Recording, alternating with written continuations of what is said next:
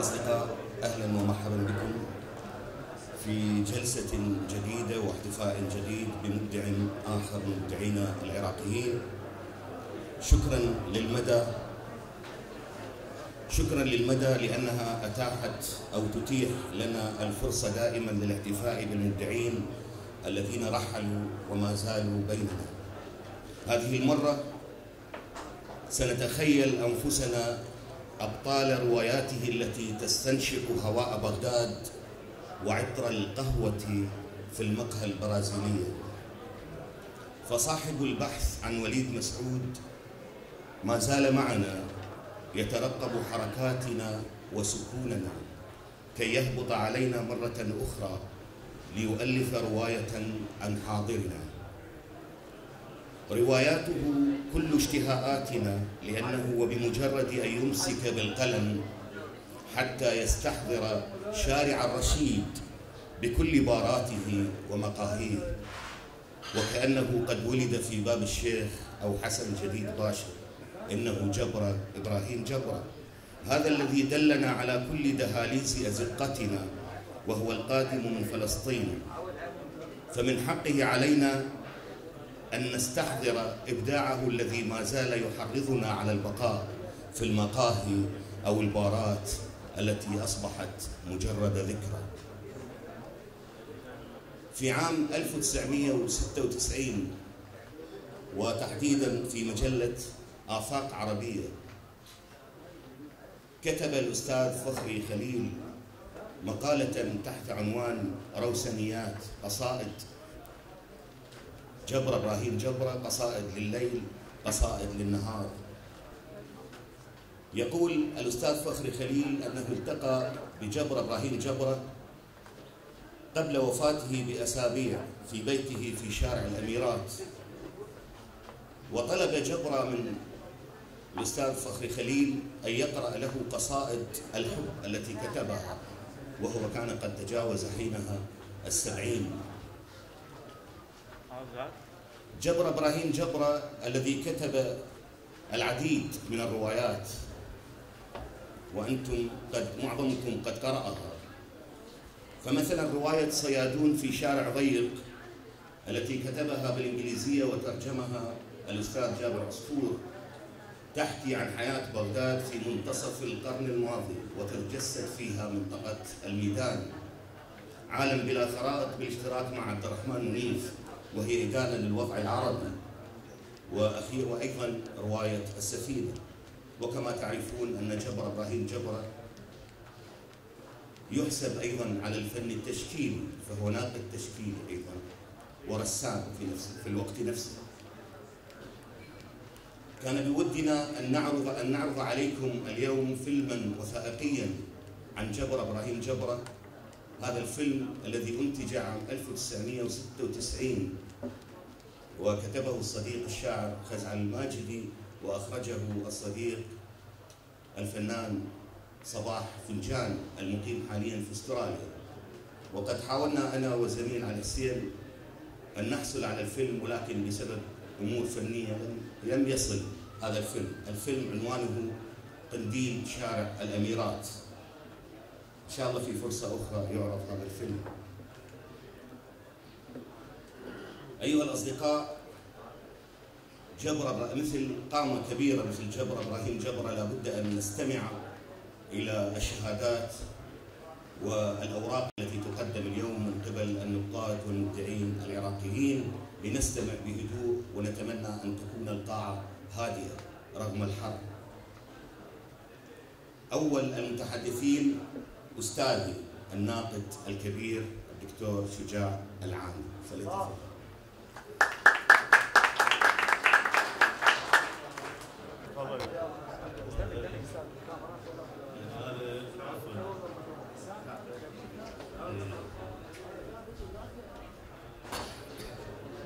طبعا هذا مقلب أنا يعني كيف يعني عملت ويا هذا المقلب يعني كنت اتصور يعني انه هناك ناس يعني يعني من من طلب الحديث واذا كان هناك بعض التعقيبات تتصورش ومع ذلك يعني كنا أنا والأخ الشاعر ياسين نتحدث قبل قليل عن جبرة يعني إذا ردنا نحصر آه، عالي بعد. كبرنا وبعد ما بينا صوت يعني. يعني ما ت- تأثير جبرة في الثقافة العراقية عموما سواء على صعيد الأدب ورواية وشعرا أو على صعيد الفن التشكيلي أو على صعيد الفكر هو كبير جدا يعني. ونحن نعرف جميعا أن الاستاذ جبر إبراهيم جبره وصل إلى بغداد عام 49 وصادف ان أحد أصدقائه وهو ديسموند ستيوارت الكاتب ال- الإنجليزي المدرس اللي درس معه وكلاهما درس في كلية في كلية الملكه عالية في حين الاداب اللغة الإنجليزية.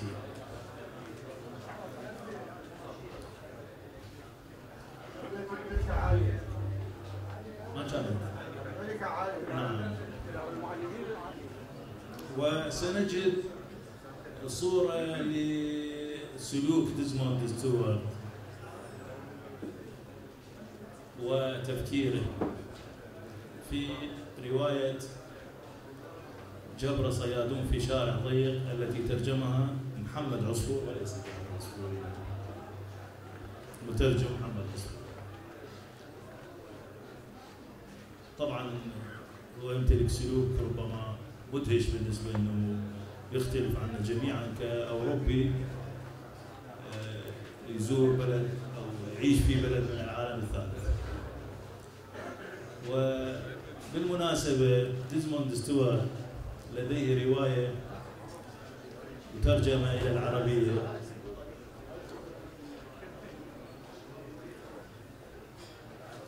عنوانها آه، فضائح الانجليز أو الانجليزي غير المرغوب فيه. وفيها نقف على تصورات الفرد الاوروبي وهو يعني مثل كل المستشرقين الاوروبيين الذين زاروا الشرق.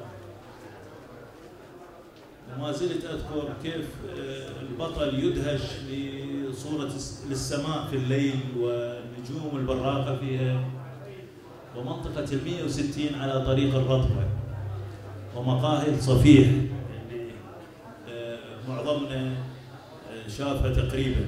كانت الدهشة تأخذه وهو يصف بدقة هاي الأجواء والنجوم والليل والسماء الصاحية لأنه طبعا يفتقر إلى هذا المهم سيرة ديزموند ستيوارت ربما وضعها هو آه، ديزموند نفسه في هذه الرواية لأنه كان شخص ناتئ بالنسبة لل- للدبلوماسية الإنجليزية. كان يسبب لهم فضائح يعني في- العراق لأنه شخص شعبي تعجب تعجبه الحمامات الشعبية والمقاهي.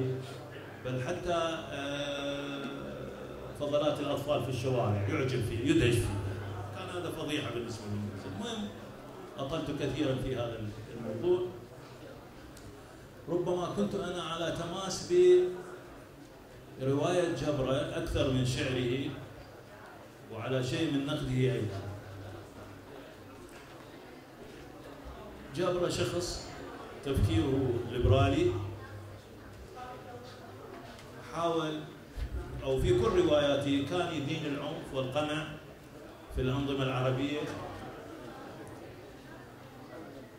ورواية السفينة والبحث عن وليد مسعود روايتاه والغرف الأخرى التي كانت تحول فيها من الرواية الواقعية إلى آه، إلى الأسلوب الكافكوي. وهي حقيقة رواية دالة بشكل كبير جدا. يعني يكفي أنه بطلها ينادى بأسماء مختلفة وهي ليست اسما له. كان يفترض أنه نمر كذا أنا لست نمرا يقال لا أنت نمر إلى آخره. آه، كصورة عن هذه الرواية. بأسلوب كافكوي كابوسي. أنا أعتقد إنه في النقل أيضا العفو قبل أن جبر لديه كتابات كثيرة في النقل من البلد الأولى إلى الحرية والطوفان إلى النار والجوهر كتب كثيرا وربما نحن اليوم بحاجة إلى إعادة قراءة جبر من جديد. إحنا يعني لنقول الأمور بصراحة أن جبر كان في جبهة على من الأحزاب اليسارية الموجودة في الوطن العربي وفي العراق بشكل خاص وربما هذا أدى إلى خلل أو خطأين، الخطأ الأول أن لا نتفهم جبرة والخطأ الثاني أن جبر يجور على فنه أحيانا.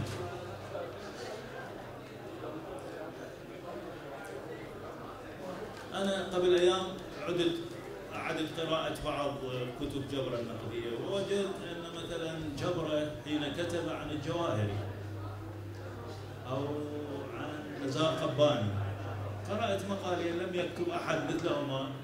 لم يكتب أحد مثل ما كتب جبرة عن عن الجواهري مع أن الجواهري عموما يحتسب على اليسار وجبرة عن التيار الليبرالي الغربي إلى آخره.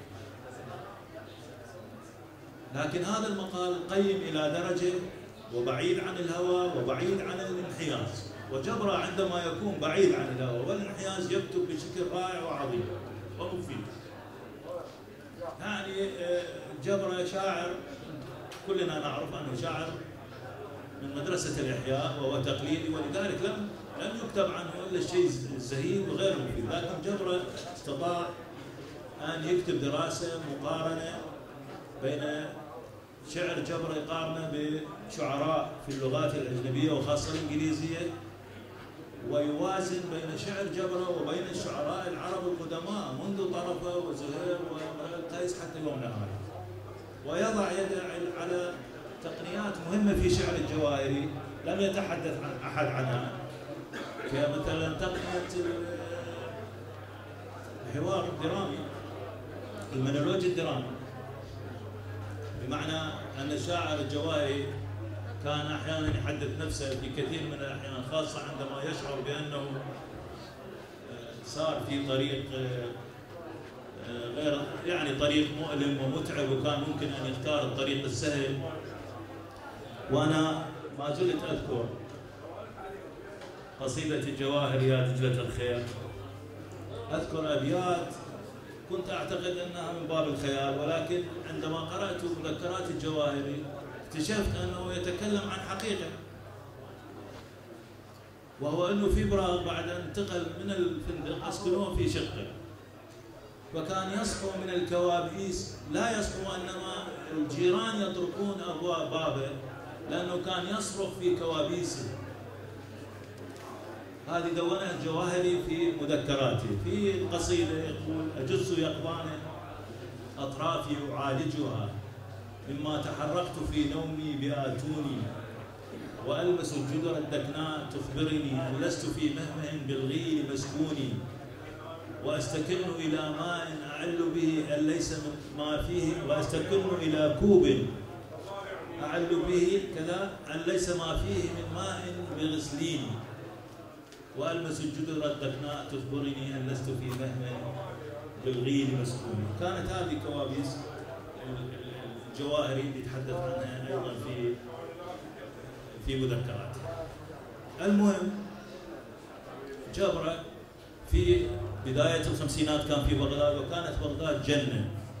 يعني أنا طبعا لم أرى إلا في 59 جئتها طفلا ولكن عرفت أيضا كتاب عرب مثل الكاتب المصري الأردني إذا ذكروني غالب هلسة.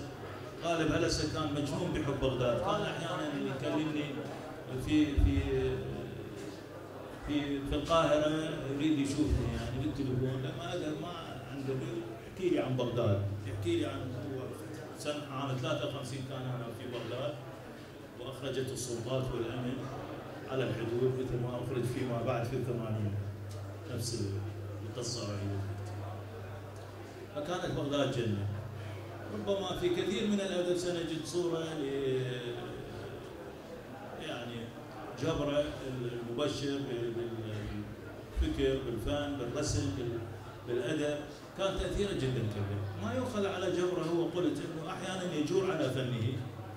ونحن أحيانا جرنا في الحقيقة جرنا وأنا يعني أقترح الآن إعادة قراءة جبره والكتابه عنه من جديد بروح بروح جديده يعني بروح بعيده عن التعصب. بحث عن وليد مسعود رواية ربما كانت عن عن جبره لأن جبره قبل أن ينشر هذه الرواية دعيناه في المركز دعوناه في المركز الثقافي في البصره في جامعة البصره اتذكر والرواية آه، كان كان يكون هو كان آنذاك يكتب في الرواية فتحدث عنها كثيرا وأتذكر حتى عبد الكريم قاصد قاصد يعني أحد الذين ناقشوه في هذا الموضوع وعن الفرق بين الرواية والسيرة وبعدين في سنة 78 صدرت الرواية. الروايه نعم سنة 78 صدرت الرواية. البحث عن وليد مسعود يعني طبعا اولا جبره أشخاصه يكررون من روايه إلى أخرى. يعني في السفينة وفي البحث عن وليد مسعود الشخص المثقف دائما الفنان هو بطله والحوارات تدور بين آه، أشخاص مثقفين وفنانين ولهذا شخصياته بالأساس يعني لا تستدير ولا تتطور لأنها من البداية هي مكتملة ومتعددة الالقاب. في البحث عن وليد مسعود قام جبره بعملية إنه إحنا نعرف هناك رباعية في الادب من رباعية الإسكندرية؟ الدوسي الكسري لورنس داري إلى ميرامار فيما بعد بالعربية. هذه الرواية التي كتبت تحت تأثير نظرية أينشتاين في النسبية والبعد الرابع. آه، والنسبيه في فهم العالم والابتعاد عن الحقائق المطلقة جبرة سواه ثمانية عملها ثمانية يعني ضاعف الرباعيه إلى ثمانية أشخاص.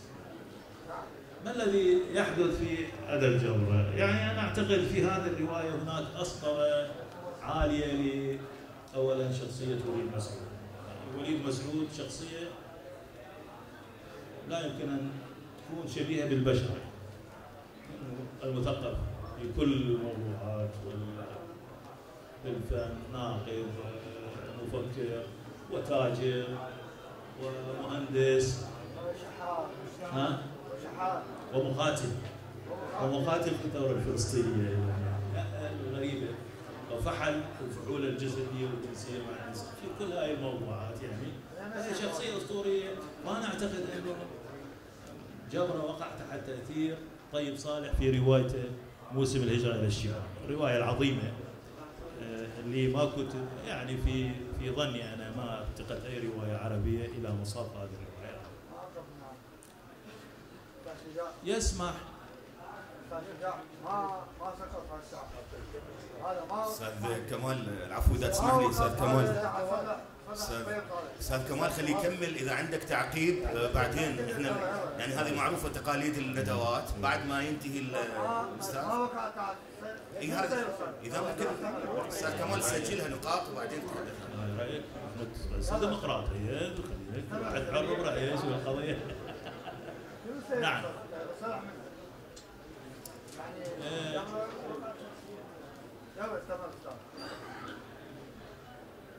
في أنا قلت كنت أتحدث مع الأخ ياسين وقلت يعني في مقولة عن عن بلزاك عند بعض النقاد الغربيين إنه بلزاك كان روائي وفنان عظيم. عندما يدخل الإيديولوجي في فنه كان يخرف. هذا يحدث أيضا عند رجل آه، بطل الرواية أصلا البحث عن وليد مسعود هو آه، فلان من الناس يكتب بحثا عن سيرة آه، وليد مسعود ويتصل بكل معارفه آه، والذين عايشوه وجايلوه يأخذ معلومات منه اثنين اثنان من هؤلاء الناس أحدهما يدعى كاظم وهو شيوعي والآخر مارتسي وإبراهيم كل الشخصيات تمجد في رواية الجبرة. ما عدا هذين الشخصين يرسم لها صور كاريكاتيرية متناقضة مضحكة ساخرة. كان كاظم مثلا هو ووليد يكونون في الأورزدي ويطلع ويخرجان من الأورزدي ويلتقي بهما عامل فيصافح كاظم الشيوعي. آه، ويصافحه كاظم لكن كاظم بعد أن يذهب العامل يخرج من جيبه قنينة عطور. ويعقم إيده ويعقم إيده ويحرم كاظم من السرد دون الآخرين. يعني الشخصيات كلها تروي كاظم يحرم من هذا. يقمع. يعني في الرواية مع أن الرواية بنيت على متعددة الأصوات وتبشر في الحرية وضد القمع و, و يعني الحقيقة تناضل وتكافح ضد الأنظمة الشمولية والقمعية في الوطن العربي ولكن في هاي هنا في الرواية هناك هناك قمع هناك إبراهيم أيضا إبراهيم يبدو وكأن الكاتب يتعاطف معه ولكنه يتكلم بنفس اللغة التي يتكلم بها الوليد وليد مسعود والآخرين. يعني هذا الصوت هو واحد هو صوت جبرة لغة جبرة وأسلوب جبرة. هناك رؤى متعددة ولكن هناك صوت واحد لغة واحدة لا تتغير. وأيضا نجد أحيانا نمط من هذه السخرية بهذا الفكر أنه ومن حيث تدري أو لا تدري يطلع لك يطلع إبراهيم بمقولة لينين مثلا من لا يعمل لا يخطئ أو مقولة أخرى عندما تصبح الحياة غير قابلة للمعيشة أو عندئذ تحدث الثورة.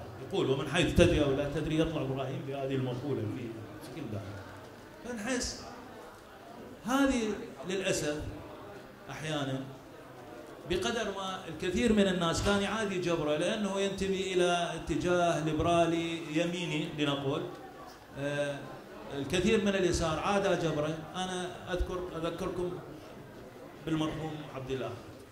يعني عبد الله أحمد هاجم كتابي المرأة وهاجم هاجمني كثيرا فعرفت فيما بعد دون ليش. قال لأنه درس جبرة. طب لماذا لا أدرس جبرة؟ وجبرة أثر في الثقافة العراقية وروايته شخصياتها عراقية يعني السفينة والبحث عن وليد مسعود. بيئة عراقية وشخصيات عراقية وهو جنس الجنسية العراقية سنة 55 وتزوج من لميعة العراقية. كيف لا أدرسه؟ قال هذا ضد اليسار. يعني.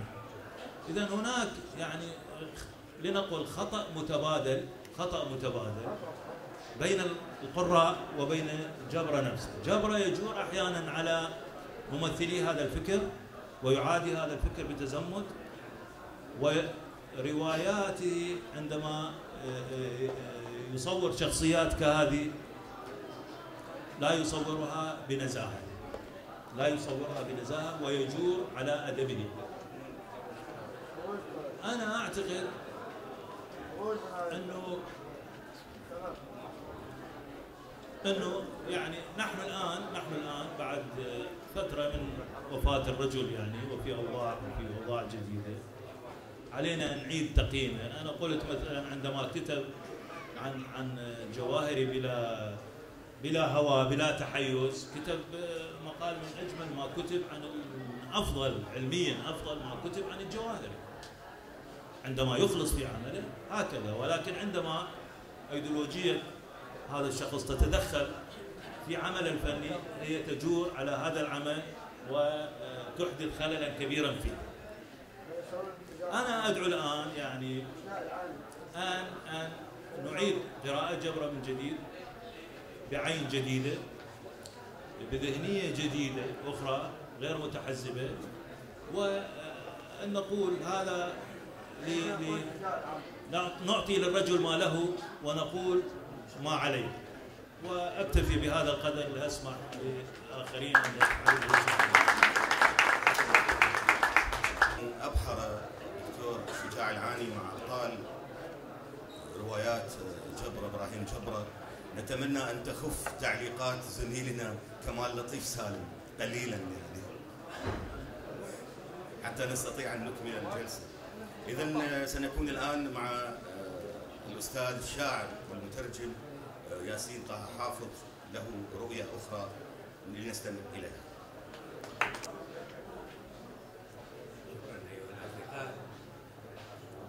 سامحوني إذا تحدثت حديثا قد ترون فيه اختلافا ولذلك آثرت أن أكتب كلمتي رغبة في أن أكون دقيقا قليلا وأن أيضا أتحمل مسؤولية ما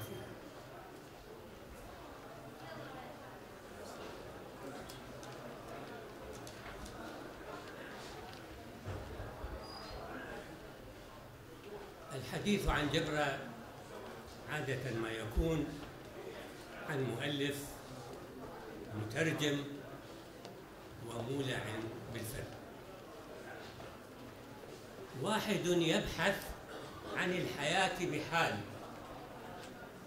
وبعيد هو عن الحياة والزحام بحال. جبرة إذن ممتحن محنة وجودية. هو لا يريد مواجهة الطوق وهو يتناسى أو يرجئ الأسئلة. سأحدثكم لنصل إلى عينات. في 1969 تعرفت إلى جبر إبراهيم جبرة وكان موظفا في النفط الوطني. شركة النفط.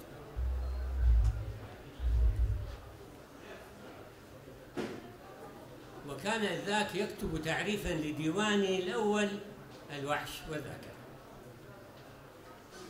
وهو ديوان صغير محظوظ فقد رسم لوحته ضياء العزاوي ورسم خطوطه محمد سعيد الصقار. وعرف به جبر إبراهيم. عرفت جبرة ثانية في لجنة عهد إليها أوائل السبعينات لإعادة تأسيس اتحاد الأدباء العراقي كانت اللجنة برئاسة المرحوم شفيق الكمالي. وأعضاؤها جبر إبراهيم جبرة علي عباس حلوان فؤاد التكرلي وياسر طه احتراما للتاريخ أقول شفيق لم يتدخل وقال لكم الاختيار ولن أغيره ولن أضيف كان السؤال كيف نختار الأدباء ونحن نعلم أن الدولة تريد منظمة شعبية وتريد ناسا وقد تقدم عدد غفير كلا يحمل مختارات من نصوصه ومنها قصاصات من مع أو من القراء.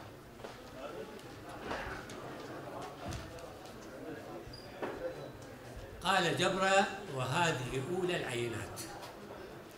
على كل حال أرجو الانتباه لعبارة جبرة على كل حال يجب أن نختار. هذه النقطة مهمة. ستفيدنا في الحديث. على أي حال يجب أن نختار فصار الاتفاق ما دام هذا هو المستوى العام ففي الأقل نرتضي بمن يعد بمن نتوسم أنه سيكون. ما اختلف جبرة هذه نقطة مهمة ما اختلف جبرة مع أحد طيلة العمل. توفيقية وليجب أن نختار الأولى. وما اختلف مع أحد الثانية دلالة. دلالة الابتعاد عن المواجهة أو المجاهرة بما لا يريد. ثم كان اللقاء الطويل معه الذي استمر ثلاث سنوات إذ عملنا معا في لجنة النشر في دار المأمون نختار ما يترجم. كان المبدأ أن نختار إبداعا وفنا والأفكار لأصحابها. وهذا رأي جبر. هذه عينة ثالثة. وكما ترون هي اعتزالية ثانية الثقافة في الابتعاد في الابتعاد في عفوا في عدم الإقرار بالاختلاف لتجنب حدته. من هذه المصالحات الظاهرية نفهم جبر اليوم. كما نقرر حقائق قد لا تكون مريحة لكنها حقائق. ترسم الإشكال الوجودي لجبر الذي يبدو هادئا بدقة أكثر الذي يلوذ من خارجه بالثقافة.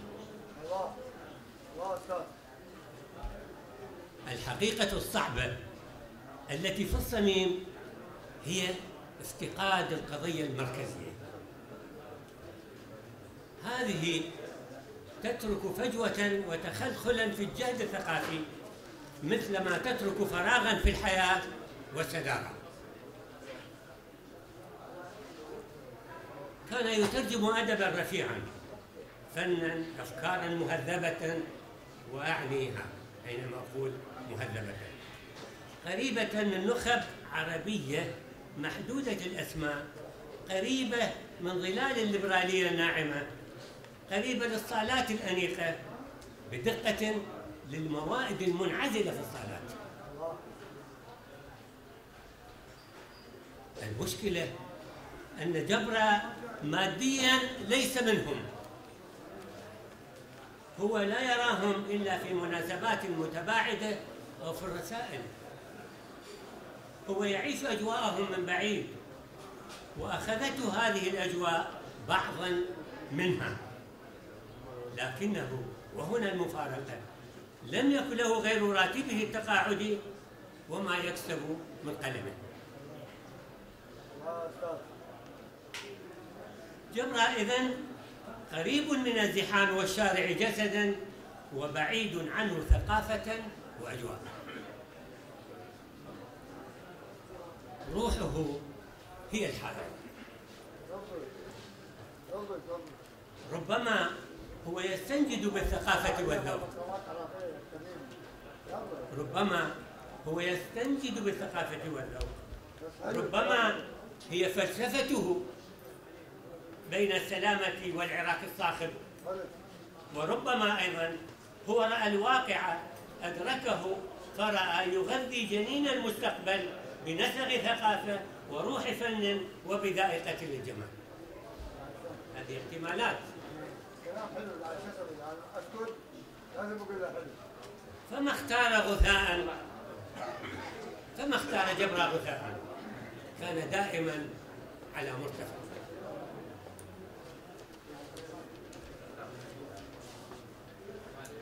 لكن انتماء الذي يعيش كفاف يومه إلى أثرياء الصلاة ونخبهم أعني. انتماع المعوج للطرف البعيد هو الذي أوجد محنة راح جبر يشغل نفسه عنها. ظل يعانيها وما باح بها يوما لأحد خسارة أيها الأخوة خسارة العمق الشعبي ذلك هو الذي قلت عنه أوجد فجوة في الثقافة وفراغا مخيفا في الحياة. الآن عرفنا لماذا نجيب محفوظ هنالك العمق الشعبي زحام الحياة والصراعات والمسرات الحقيقية والأوجاع الحقيقية والنضال اليومي. هنالك الاتصال مع نسق الحياة الحي مع المجرى العظيم لا مع الصور والظلال. لا مع النماذج الواهنة فيها. وذلك في رأيي القسم الأول ذلك في رأيي هو الذي يصنع أدبا عظيما من شكسبير إلى دوستويفسكي إلى تورجنيف إلى ديكنز وهملغواي وإلى نجيب محفوظ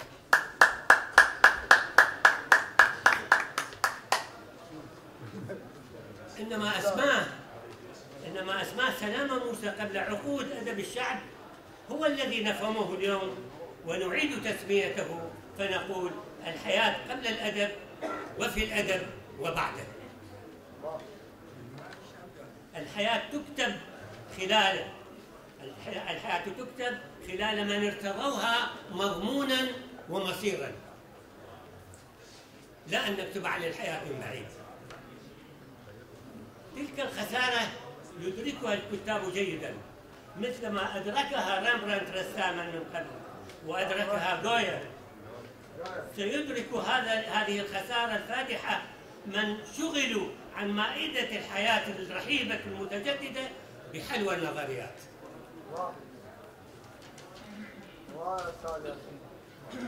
وجبر قبلنا وجبر قبلنا قبلنا كلنا يعرف ذلك ويعرف ذلك جيدا. أنا أعرف جبر لكنه ظل منزوع السلاح والقرار. مستقرا غير مستقر. القاعة شبه فارغة.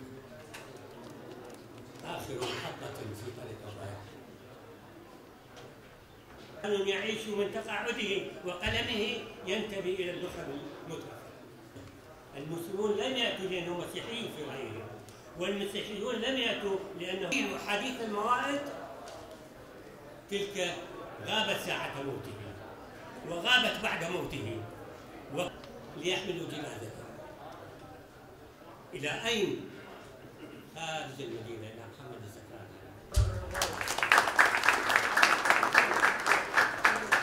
لاعبا مثقفا. لكننا نعزي أنفسنا بأن الأستاذ كمال لا يزال يتكلم وكأنه أكثر من الذين يصعدون إلى المنصة. عزاؤنا فيك عزاؤنا فيك أن, أن أتمنى أن أستاذ كمال آه، أن تنصت للآخرين. وهذا النداء الأخير. آه، أيها الأصدقاء نتمنى الهدوء من الجميع. لكن لا نسمح أيضا للأستاذ كمال أن يستمع. نستمع الآن إلى آه، كلمة رجل مسرح كاتب ومخرج مسرحي كبير. سيتحدث عن الأستاذ جبر إبراهيم جبرة الأستاذ الفنان الدكتور عقيل مهدي. تفضل سلام. شاعر والإنسان الطيب والمثقف أنا لا أريد أن أطيل عليكم لأنكم استمعتم إلى أثنين من رموز الثقافة العراقية شجاع العاني وياسين طه واثنينهم ناقد وقاص والآخر شاعر ويحسن التأويل بحيث أدخلنا في قصة شعرية في مداخلته الأخيرة وهو منحاز للشعب ولذلك يشوفون نوع من المرارة عنده ونوع من الحنق تجاه الأرستقراطية في الثقافة. أنا أعتبر جبرة هذا الوديع الكائن الرائع اللي جانا من القدس المقدسي اللي عاش هنا في هذا المكان في فندق اسمه على غير محتواه ووضعه. فكان متعب وكان ينطق 15 فلس الحسين مردان حتى يصحح المسودات مالته المسودات عندما يترجم. طبعا أنا اريد أتحدث عن المس البسيط يعني أو التماس البسيط بيني وبينه.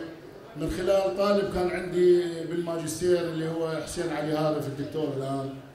كانت اطروحته أو رسالة الماجستير مالته عن علاقة الفنان بالمؤرخ يعني الفن والتاريخ. فكان رأيي أن يذهب إلى أستاذ جبر وكان مندهش لطيبة هذا الرجل لإنسانيته لجمالية بيته بحيث يقول ادهشني يعني حتى قرب المغسلة هناك موضع لكتاب. في كل زاوية هناك مجموعة كتب. هذا الرجل أنا أعتبره يعني وفاد الطالب كثيرا ودل على مصادر ومراجع مهمة. أعتبره يعني نوع من تكنوقراط الأدب العراقي. فعلا هو منشغل باليسار. واكو ناس نقاد عندنا كبار معروفين. يعني يكنون له يعني ما أريد أقول الكراهية وانما عدم الحب لأنه لم يكن في مد يساري واضح المعالم وناس يعني محتدمين في صراعاتهم لم يكن منهم. بل كان يمثل فعلا الحضاره الليبرالية نوع من استقلالية الطروحات الأوروبية اللي كانت شبه محرمة في أدبيات اليسار العراقي. المسألة الثانية إنه إحنا عندنا بالمسرح خليل مطران شاعر رائع من الشعراء اللي جددوا ترجم لنا نصوص شكسبير. كما يقول الأستاذ أحمد إنه شاعر الأقطار العربية فعلا.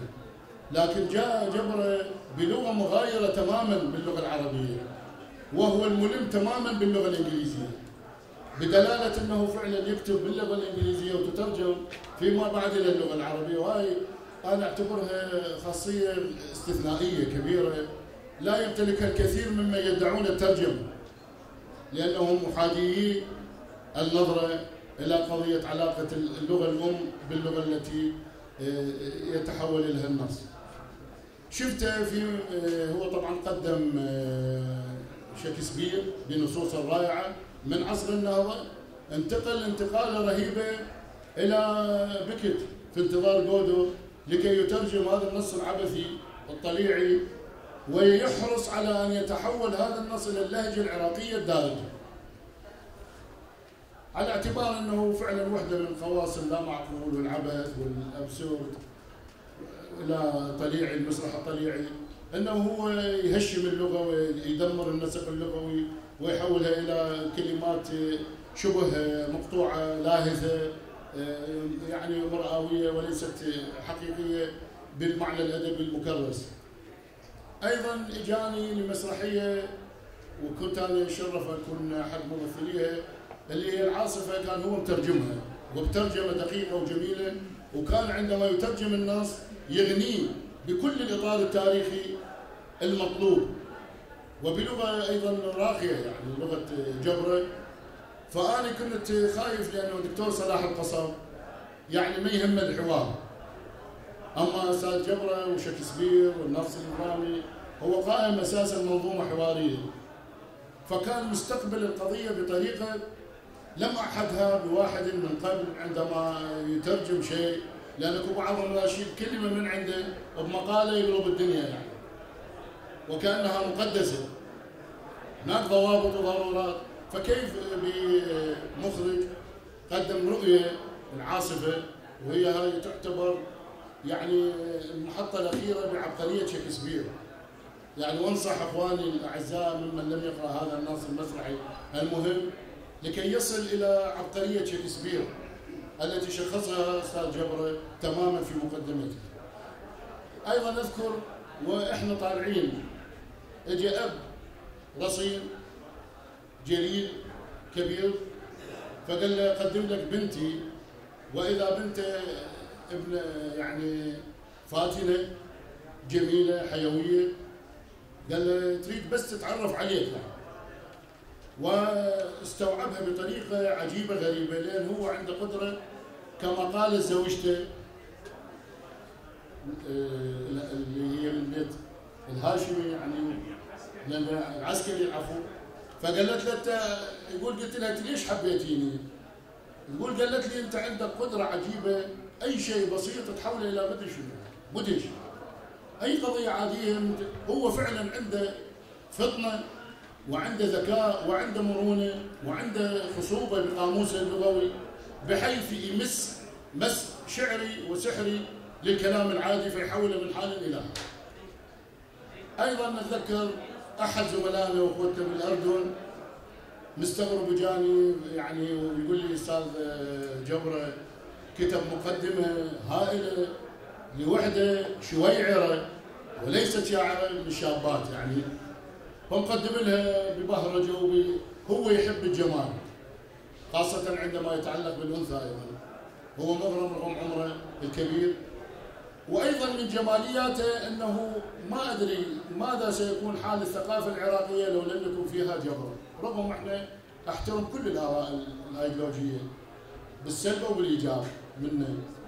يعني هو أعتقد فرش فرشه ما يسمى بالحافات العليا للثقافة بالبدئيه الأولى بالنمطية الاولى العليا. فأنت تشوف مثلا التموزيات هو يشحن بها جيل كامل بما فيهم السيارة.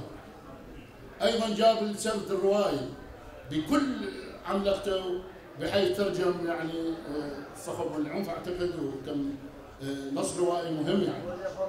وأيضا آه، هاي المدينة الجميلة اللي كتب عنها مال القلعة قلعة تكسل اللي بها أيضا استفسارات نقدية جيدة. هو كان ينتقي بشكل دال وكبير. فاذا هو يعني أسميه أنا أرستقراط الأدب يعني يسموه تكنوقراط في الأدب. المسألة الثانية هو طرح هذه الإشكالات الكبرى وأيضا هو هذه التعددية اللي عنده. يعني يكفي فخر نطلع عن جواد سليم هذا الكراس الكبير الضخم اللي بيه وعي وبيه شرح وبيه ثقافة. علمنا شنو ضرورة الرسم والنحت. والفنان عندما تصاغ رؤى إلى فعل يعني أنا كما قلت مرة أن بغداد تحولت بفعل جواد سليم إلى بغداد أخرى. لم تصبح بغداد كما كانت. بفعل الفن وقدرة الفن الخلاقه الكبيرة. أنا اشكركم وأرجو أن اكون قد أضفت شيء بسيط. الأستاذ الدكتور عقيل المهدي على هذه الاستذكارات الجميلة والرائعة. وشكرا لأستاذ كمال لطيف سالم لأن استجاب انه كان قليل من الهدوء. نتمنى نتمنى أن يستمر في هذه الهدوء بعد العاصفة التي تحدث عنها. دكتور المهدي احدى المسرحيات اللي إذا تسمحوا لي إذا بس تسمحوا لي. أنتم تعرفون تعرفون في جلسات بيت المدى الثقافة والفنون هناك تقاليد. وهذه التقاليد تعرفونها أنتم أكثر مني. أن هناك أسماء تتحدث وموجودة أمامي في هذه الورقة البيضاء الصغيرة. فأتمنى أن ترحموني وترحموا هذه الورقة حتى نستمر. يعني. اذا آه، سنكون نتمنى نتمنى أن يكون بيننا الصديق الناقد التشكيلي عادل كامل إذا كان موجودا أستاذ علي. آه، حتى تكون استعادة جبره إبراهيم جبره استعادة يعني آه، تلم بكل اهتماماته الروائية والترجمة والفن التشكيلي. لكن يبدو لم يأتي بحد هذه اللحظة. الاستاذ عادل كامل. سنستمع إلى شهادة أو ورقة لصديقنا الشاعر الأستاذ زعيم النصار وهناك مفاجأة سوف يقرأ ربما قصيدة حب كتبها جبر إبراهيم جبر.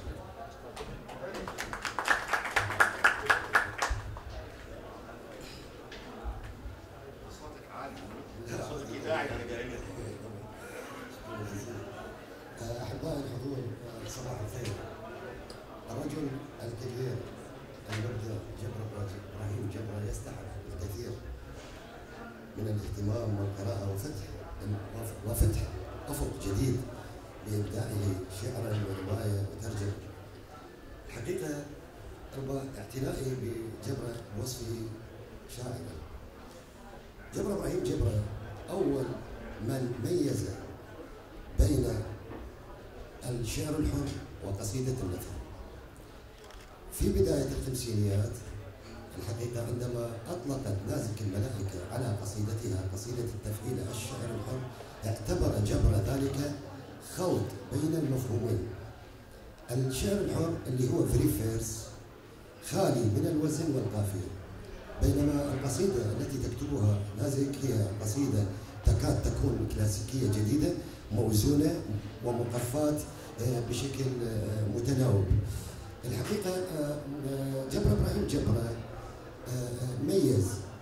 هذا هو والشاعر توفيق آه، صالح. عندما آه، آه، عام 1954 توفيق صاير ديوان ثلاثون قصيدة أطلق على هذه القصائد الشعر الحر. وقد سبقه بهذا بإطلاق هذا المفهوم الشاعر جبر إبراهيم جبر.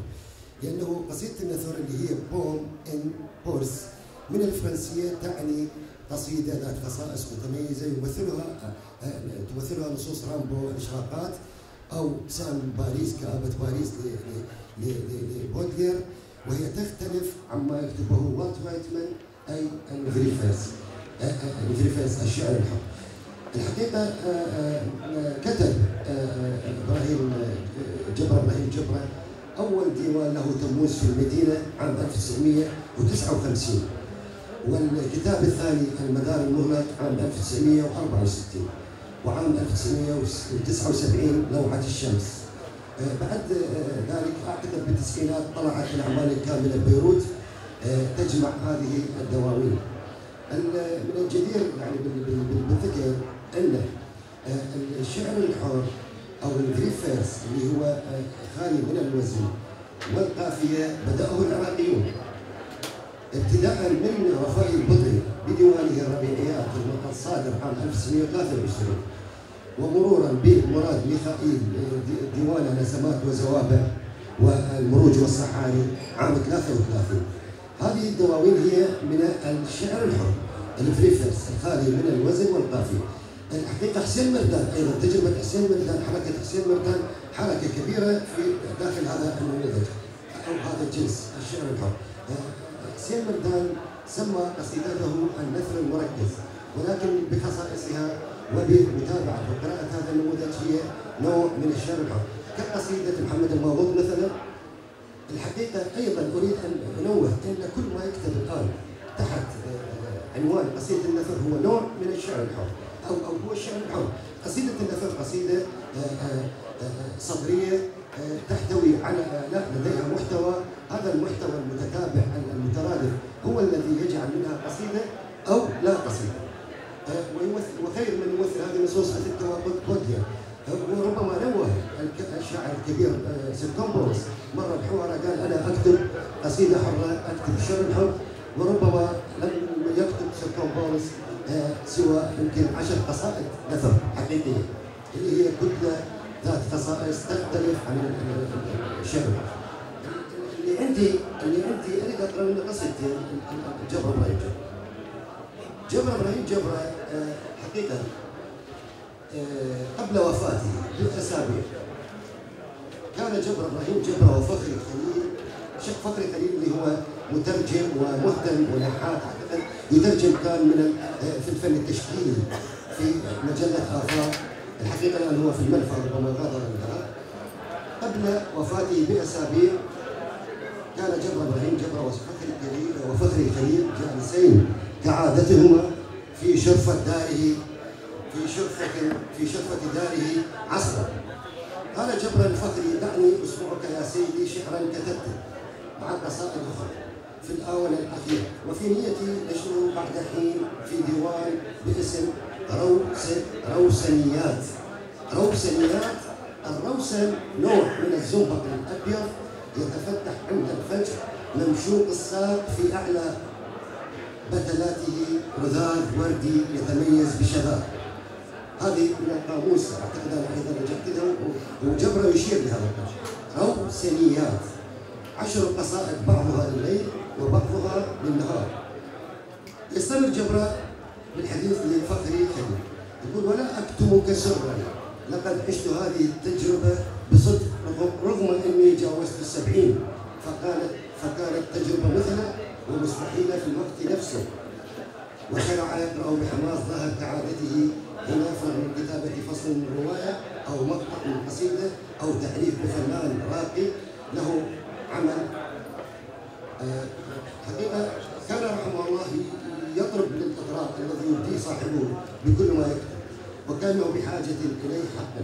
وحين انتهى اقترح عليه فخر خليل أن يطبع الديوان كله بخط يده. فاستحسن الفكرة وفضل كذلك أن ترافق القصائد كلها رسوم تخطيطيه لفنانه المفضل راكان دبدوب وسلم القصيدة المسودة لفخري ليضع لها تصميما لديوانه المرتقى مات جبر دون أن يرى الديوان النور وبقيت القصيدة عند فخري خليل ينشرها لأول مرة في مجله افاق بعد وفاته بشهور. وسوف ننشرها في المدى قريبا بمقدمة عن شعرية الراب. أقرأ آه، قصيدتين من هذه الروسيه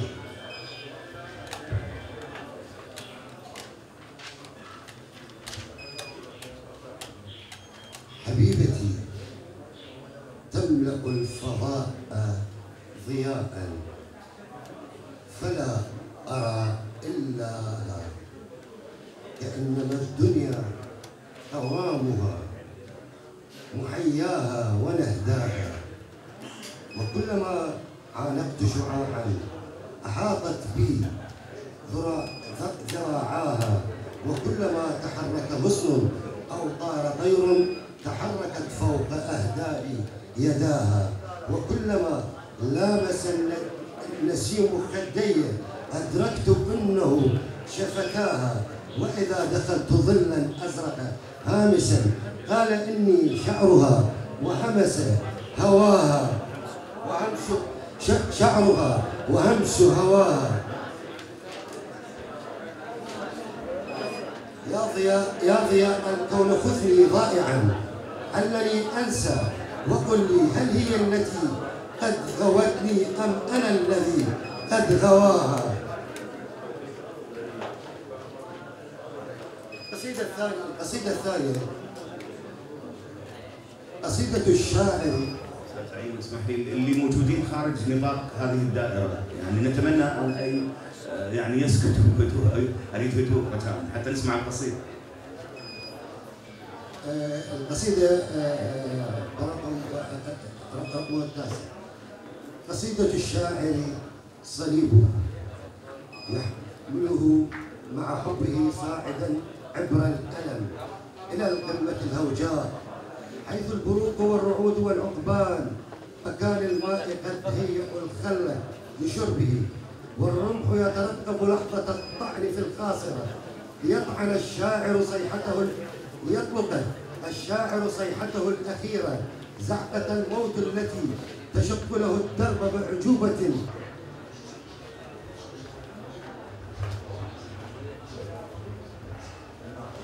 طبعا أكيد يعني بعد أن ننتهي من الشهادات والأوراق اللي تقدم هنا على المنصة أكيد هناك إذا كان هناك تعقيب من الحاضرين نستمع الآن إلى شهادة الأستاذ الشاعر والناقد علي الفواز.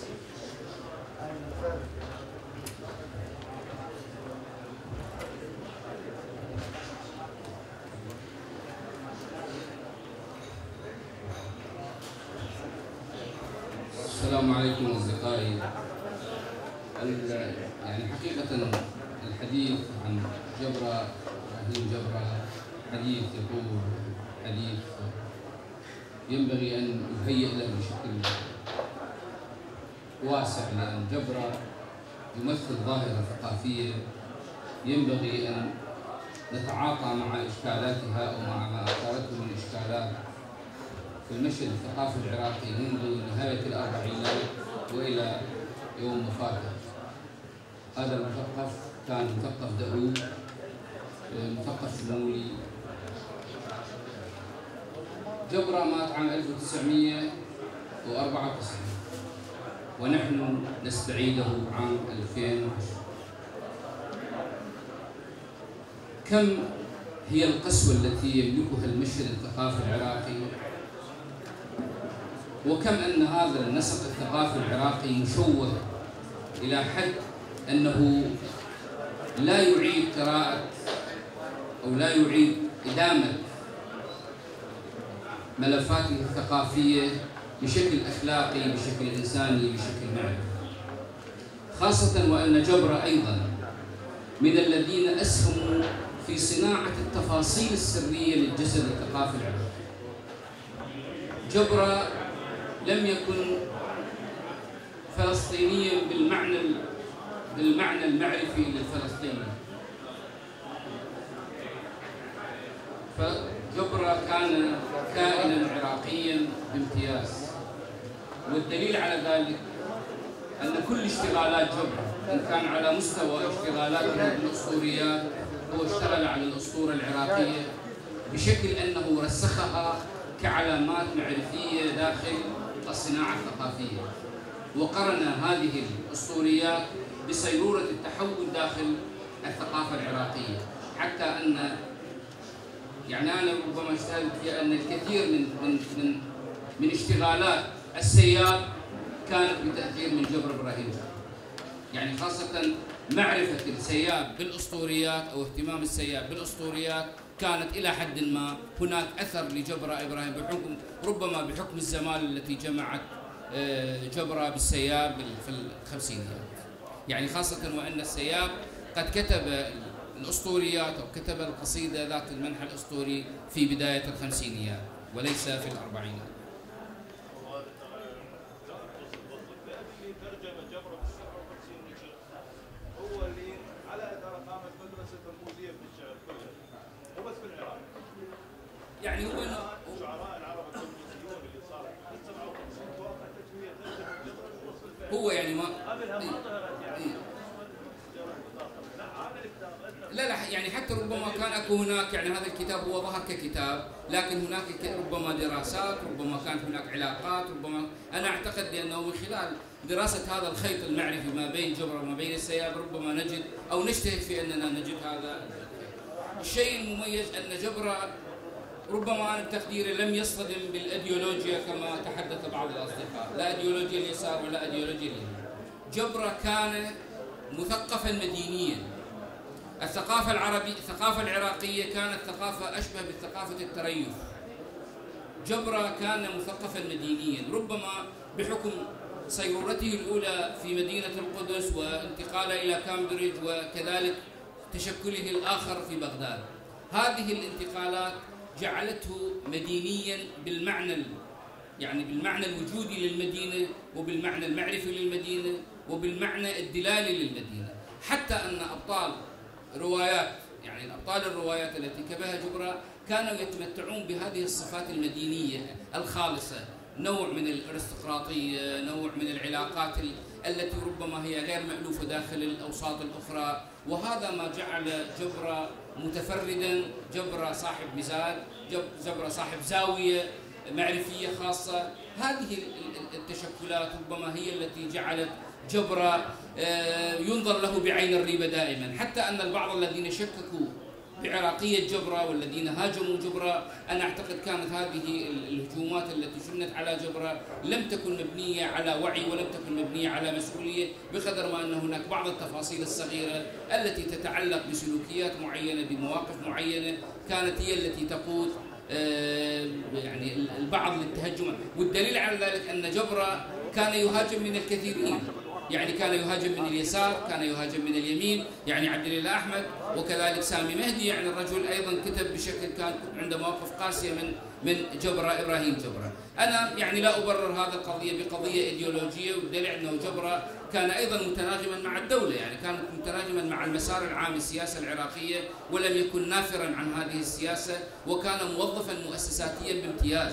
كان يعني مؤديا للكثير من الأعمال التي أنيطت به على مستوى الصحافة، على مستوى الإدارة، عمل في المتحف العراقي، عمل في في في وزارة النفط، عمل في مؤسسات أخرى بصفة خبير، بصفة مترجم، بصفة يعني عمل لم يكن نافرا عن التوظيفات التي كلف بها من قبل هذه الجهة، لكن بتقديري أن هذا النمط الخاص أو الشخصيه الخاصه شخصية البطل المديني شخصية الكائن المديني بكل ما تعني هذه المدينة من معان ودلالات هي التي جعلت جبرة في الزاوية الأخرى. وربما أنا بتقديري أيضا أن الثقافة العراقية كانت ثقافة زراعية كانت ثقافة ريفية في أغلب تمظهراتها حتى وإن كان هناك أنماط أخرى قد زحفت إلى هذه الثقافة لكنه خاصة الرواية العراقية ظلت رواية يعني راحلة من الريف إلى المدينة وأن الأبطال الذين كانوا يتمظهرون داخل الكثير من النسيج الروائي العراقي كانوا يعانون من هذا القلق قلق الانتماء إلى المدينة إلى الريف قلق الانتماء إلى المكان أي أن المكان العراقي داخل أغلب الروايات العراقية كان مكانا قلقا عكس يعني عكس جبرة. جبرة حتى حينما ينتقل إلى مكان قلق مثل السفينة كان داخل هذه السفينة هناك مدينة أخرى مدينة لها دلالات معينة من خلال طبيعة الأبطال من خلال طبيعة الحوارات من خلال طبيعة ال- ال- النسيج السردي الذي يقترحه جبرة. داخل هذه الفضاءات تجعل من جبرة كاتب مديني بالمعنى السردي بالمعنى المعرفي بالمعنى الدلالي جبرة الذي أثار حادث يعني تفجير بيته بال- بال- بالأيام الأخيرة ربما الكثير من الألم والكثير من الشجن. ونحن أيضا يعني ندعو من خلال مؤسسة المدى إلى أن لا أقول فقط إعادة قراءة جبرة لأن جبرة قد قرئ كثيرا وجبرة قد لكننا ندعو إلى وضع جبرة حقيقة داخل السياق الثقافي العراقي وليس مطرودا كما يدعي البعض. جبرة ابن الثقافة العراقية وأحد الذين حملوا الثقافة العراقية ونقلوها إلى مناطق أخرى. ندعو إلى يعني من خلال هذه المؤسسة إلى أن يصار إلى جعل بيت جبرة الذي حطم والذي دمر بفعل العمل التخريبي الإرهابي ندعو إلى أن يتحول إلى متحف هذا البيت وأن تدعى كل المؤسسات وكل الأصدقاء الذين لديهم مقتنيات من جبرة تشكيلية وملفات أخرى أن يبادروا إلى فعلا أنه نحترم جبرة وأن نعيد وضع جبرة داخل الثقافة داخل السياق الثقافي العراقي من خلال جعل بيته في شارع الاميرات أن يتحول إلى متحف لكي نقول أننا أوفياء للذين عززوا الثقافة العراقية ونحن لا نكره أحد. أعتقد أن إعادة جبرة عراقيا هي الشعار الذي ينبغي أن يرفعه المثقفون العراقيين شكرا جزيلا واعتز بكل الاراء السياب لم يكن في يوم ما لم يكن السياب في يوم ما بحاجة إلى فلان وفلان. هو صحيح جاء من من القرية. وكلنا جي- جينا من من القرى. كلنا جينا من القرى. ولكن جينا محملين بثقافات وبقراءات أما أن يأتي فلان إلى المدينة لكي ما ينظم هذا وذاك خاطرة هذا الذي ليس ربما جبر صحيح مترجم وترجم الصخب والعمر مع ويليام فاغنر وهي أخطر رواية أمريكية صدرت في ذلك العصر. لأنها كانت تحتوي على تحويل للرواية الأمريكية من النمط التقليدي إلى النمط الغرائبي من نمط يسموه التداعي من يجي الشخصية المجنونة. التحويل تحويل النمط بالرواية الأمريكية ها؟ تحول إلى الرواية العربية. لا نجيب محفوظ ولا توفيق الحكيم ولا أي واحد. صحيح جبرة كان مترجم وكان ولكن ليس ليس له تأثير لا على بدر ولا على أي, أي شيء. يجب علينا أن نحترم أنه بدر هو مثقف. بدر شاعر كبير.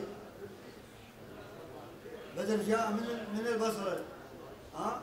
يكتب العمودي وجاء إلى بغداد وتحول إلى إلى العروض الشعري الشعر الحر فما ما كان فلان وفلان له تأثير عليه. لذلك صحيح. بالأربعينات كان هناك هاي المنطقة قبل أنا ما أنكر ما أنكر فضله على الترجمة وعلى الكتابة الروائية. وما كتب عن هاي ال- ال- الطرقات الضيقة هناك. ولكن لم يكن له يعني إنه هو اللي خلى السياب يكتب قصيدة شعر الحر أو أو فلان كذا كذا لا. هو له دور في الترجمة نعم يعني أستاذ كمال يعني خلاصه الكلام يعني أنت تقصد انه لم يستفد من من جبر إبراهيم جبر لا يعني هو مترجم يعني هو مترجم. فدول الادباء العراقيين يعني مو مو جو حباي يعني الأسطورة موجودة لديه في شعره يعني بدل بدل بدل مو حافي. ماكو واحد جو من القريه طبوا بغداد مو حباي أستاذ كمال حتى نفتح المجال لآخرين ثلاث دقائق وعندنا تفضل أستاذ أنا اعتذر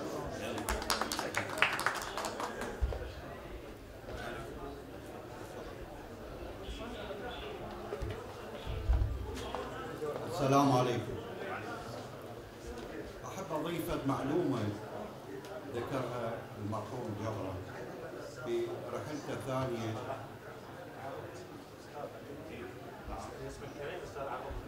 جبار رؤوف أحمد صحفي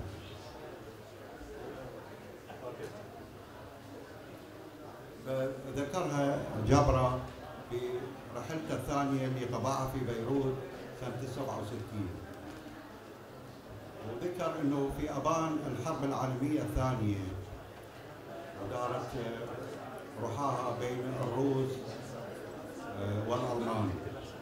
فهربوا بعض الفنانين البولونيين واللي تأثروا وكانوا طلاب في باريس بالفن الباريسي. فهربوا وكان مجيئهم إلى بغداد. وفي سنة 1942 أقام معرض في بغداد للفنانين الرواد الكبار. فالتقوا هؤلاء الفنانين البولونيين مع جواد سليم و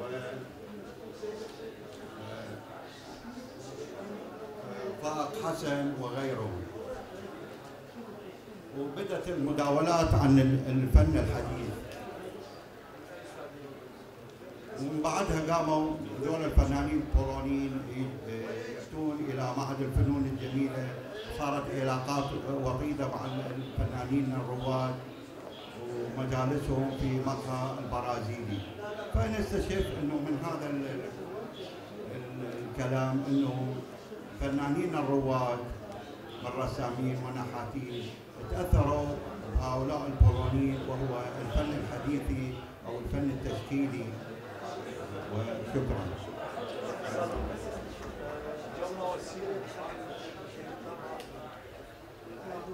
نعم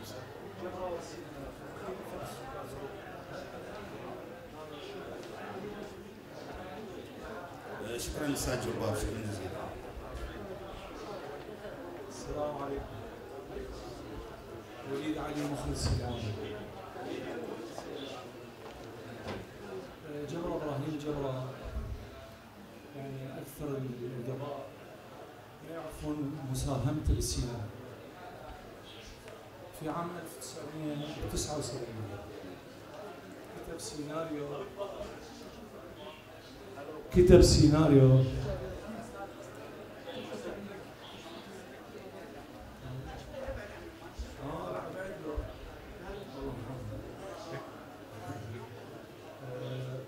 بال 79 كتب سيناريو عن فائق حسن. سيناريو وتعليق إخراج صبيح عبد الكريم. وأنا منتجت الفيلم. بالتعاون مع صبيح عبد الكريم. مخرج فيلم صخر. البحر بس الفيلم عن فائق حسن بال 79 فالمونتاج سينما. كانت الفيولا الغرفة مالتها مظلمة فمن يريد يعني يريد يعطي ملاحظة أكو دغمة بال- بالمفيولا يشيلها ويحكي وياي. فكان على الدوام آه، يشعل الدغمة ويقول لي أستاذ العفو اسمي الكريم قلت له اسمي وليد يطفي واكمل أنا ومرة ثانية هم يقول لي اسمي الكريم قلت له وليد مرة ثالثة من كررها قال لي الاسم الكريم قلت له وليد مسعود. ففتح ال ال مال الغرفة وقال لي تقرأ لي؟ قلت له أنا أقرأ لك إلى للآخرين وعددت له رواياته. والله يرحمه هو فاح كلش. كانت مساهمته بالسينما بهذا المجال من الاتجاه التشكيلي بعدين آه، كتب سيناريو آه، فيلم آه، جذور الفن التشكيلي العراقي المعاصر. طوله تقريبا حوالي 35 دقيقة. المونتاج أيضا أني والمخرج سميح عبد الكريم الله يرحمه مخرج فيلم سفر البحر. كتب السيناريو وكتب التعليق فكان ال ال الشباب من ال- الرسامين قسم قليل ما يعرفهم. فأنا كنت أقول له حسام عبد المحسن مثلا وآخرين شباب اللي هم طلاب كانوا في معهد الفنون الجميله بالسبعينات آه، الفيلم كان كان متوازن. فشعلت ال- ال- الضوء مال الغرفه قلت أستاذ ليش نتحول هذا التعليق وهذا هذا السيناريو إلى إلى كتاب. قال لي ما عندي الصور مال ال- الكتاب ال- يعني الصور مال الفنانين التشكيليه قلت له أنا اوفر لك إياها من خلال negative مال الأفلام قال لي عرضها فوفرت له أفلام ال negative وطبعها للكتاب وسماه بنفس الاسم جذور الفن التشكيلي العراقي المعاصر. والكتاب طلع بعدين الفيلم يلا طلع ورا. يعني بسبب كانت المعركة أنا كنت مصور صور معركه أذهب وأجي وكنت انتج بنفس الوقت فالكتاب ظهر بالسوق بعدين يلا الفيلم. والفيلم فايق حسن وفيلم جذور الفن التشكيلي العراقي المعاصر. تبخرا وين تبخرا بس الله يدري من حرق السينما والمسرح؟ من حرق الأفلام؟ من حرق الأرشيف؟ بس الله يدري و... وفيلم آخر من اخراجي وسيناريو مالي عن المصورين الفوتوغرافيين سميته مصورين عراقيين عن آه، جاسم الزويدي الله يرحمه وعن ناظم رمزي. فاستدعيته لكتابة النص وكتابة للنص التعليق عن عنوان كتابة. وتقص- يعني. آه، الأستاذ أمين قاسم الموسوي نتمنى أن يحضر إلى اتحاد الادباء نستمع إليه وإلى آرائه. وين ضام نفسك يعني ما ادري أستاذ الشاعر زعيم النصار أنا بس عندي ملاحظة إنه البيت لما يرمم بيت جبر إبراهيم جبر ويتحول إلى متحف هل متحف هل تستطيع الدولة الآن أن تمنح بيت آخر لعائلته؟ يعني عائلته ساكنة به كانت بس هي من صارت من صار التفجير لم يكونوا موجودين وهذه من حسن يعني آه، حظهم أن يبقوا على قيد الحياة.